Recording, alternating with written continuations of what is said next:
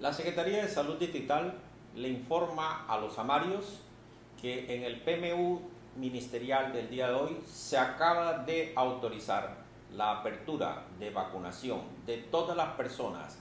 mayores de 16 años con comorbilidades a que se vacunen sin agendamiento. Esto desde mañana que iniciamos una campaña masiva en el Centro Grande de Vacunación Coliseo Menor del Buen Vivir de 8 de la mañana a 3 de la tarde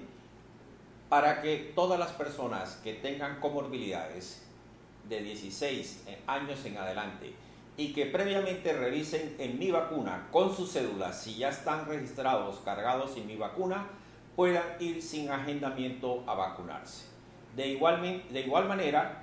el día domingo en todas las sedes de las IPS vacunadoras de la ciudad, en el directorio que estamos publicando en nuestras redes sociales,